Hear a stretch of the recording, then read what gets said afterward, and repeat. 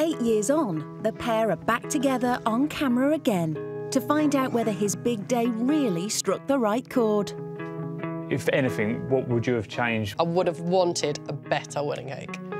Is this my wedding cake? Yeah. Did you make it yourself? Yeah. No, you didn't. What, like make it by hand, you mean? Yeah. No, but we just like lobbed Put it all loads together. of cakes together. Yeah. Where did you get that from? oh, that is the tackest thing I've ever seen. You know how much I'm like a cake Yeah. person. We travel around loads of different places, trying different cakes. Even if you'd have just bought 100 donuts and stacked them on top of each other, that would have been fine. What a donut.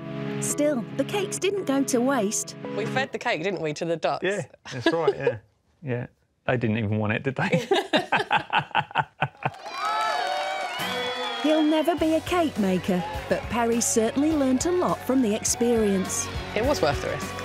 Probably gave you a bit more confidence in doing things yourself. to have that kind of responsibility thrust on your shoulders and then to Pull it off. pull it off. You know, it's, it's it gives you a bit more belief in yourself, definitely. for me, I've got an experience that not many brides have got. And I think that it makes me feel that our day was more special than somebody else's because he he did all that and he did all that for me. And I just kind of think there's not many people that would want to do it or that would do it for that other person. And the McBride musical legacy continues. Since then, we've had another baby. Um, so now we've got the three of them. So it's a handful. Our own little band together, evidently. But Lauren's decided she'll never be the front man. With regards to Limelight, I don't think I'm any different now. I think I'm still that person. It's just that it surprised me that for my wedding, that really actually was what I wanted, but I just thought I didn't. There's still one burning question. Who did Perry really want to marry?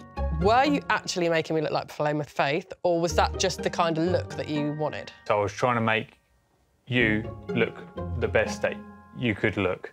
Paloma Faith was that kind of look that I was aiming for. It was either that or Amy Winehouse. If you look at, if she's watching, no, I, I, do you know what it is? What it is? Like I looked good. I didn't look like her. Very attractive woman, you know, but I've not really given her a second thought since that day, to be honest.